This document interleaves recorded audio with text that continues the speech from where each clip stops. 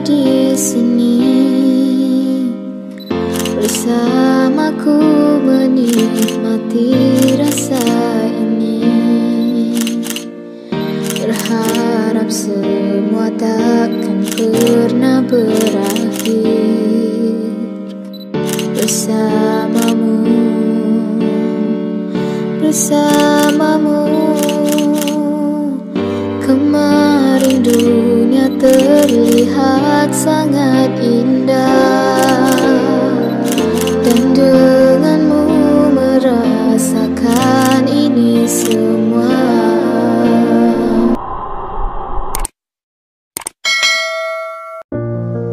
Momen lamaran pasangan ini pernah jadi sorotan di media sosial pada tahun 2022. Pasalnya pria yang melamar wanita di video ini adalah mantan kakak iparnya. Video lamaran ini pernah viral setelah diunggah oleh Rafida Sonia lewat akun TikTok pribadinya @incesh. Dalam unggahannya dia awalnya membagikan foto pernikahan kakaknya pada tahun 2014. Kemudian pada tahun 2022 dia dilamar pria yang dinikahi kakaknya alias mantan kakak iparnya. Puncak komedi tagar FYP.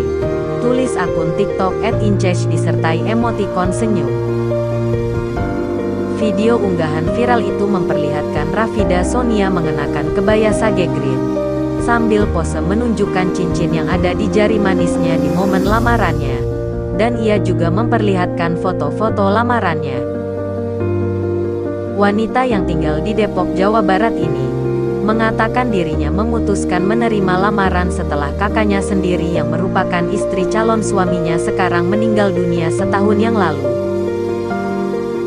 Seperti yang banyak diinfokan, bahwa itu adalah proses lamaran saya dengan kakak ipar saya, suami dari almarhumah kakak kandung saya yang sudah meninggal satu tahun lalu.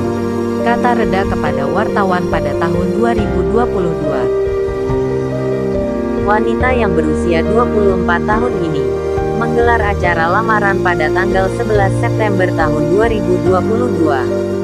Reda menuturkan keputusan menikah dengan kakak iparnya sudah mendapatkan restu dari keluarga.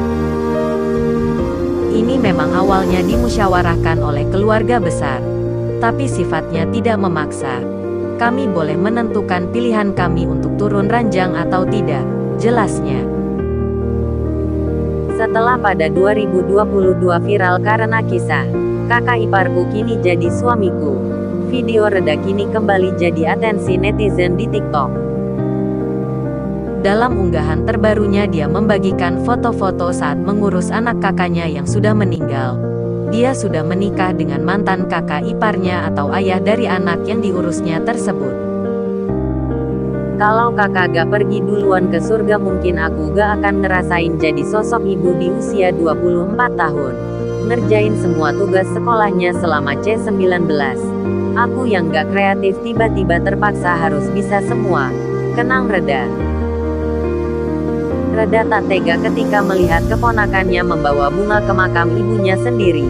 Anak yang duduk di bangku taman kanak-kanak itu saat ibunya meninggal belum mengerti situasi kehidupannya. Hidup terus berjalan. Sekolah lagi. Tugas setiap hari. Tengokin maminya lagi. Kasih mami bunga lagi. Agak mulai sadar maminya sudah gak serumah lagi. Ini rumah baru mami katanya. Tuturnya. Reda membagikan momen ketika merayakan ulang tahun keponakannya. Ia juga kini yang menerima kabar dari sekolah tentang kegiatan keponakannya tersebut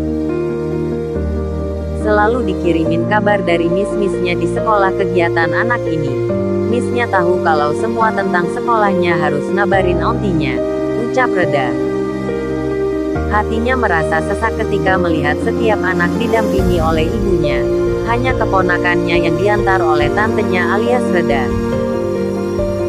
Reda memutuskan untuk menikah dengan mantan kakak iparnya dan mengurus sendiri keponakannya dia menunjukkan foto pernikahannya dengan mantan kakak iparnya. Kehidupanku berjalan dengan normal seperti ibu dan istri pada umumnya sih. Alhamdulillahnya mertua juga sama-sama saling support. Ungkap reda kepada wartawan. Jumat tanggal 6 Oktober tahun 2023. Bedanya sekarang anakku sudah semakin mengerti. Anakku sekarang sudah kelas 2 SD sudah tahu kalau dia ditinggal selamanya. Suka curhat juga bilang ke aku kalau lagi kangen sama mami. Jadi ya kita suka nangis bareng-bareng aja karena kan gak tega yang ngelihat anak sekecil itu kangen sama ibunya. Aku sebagai ibu sambungnya hanya mengarahkan. Sambung Reda. Reda mengungkapkan rutin ke makam kakaknya bersama keponakannya. Meski dia kini sudah menikah dengan suami kakaknya, foto kakak tercintanya tetap terpajang di rumah. Kalau lagi kangen kita nggak bisa ketemu wujudnya.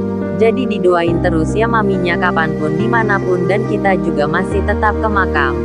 Foto pun masih terpajang lengkap di rumah biar dia selalu ingat wajah maminya. Tutupnya. Bagaimana menurut Anda? Silahkan tulis komentar positif di kolom komentar.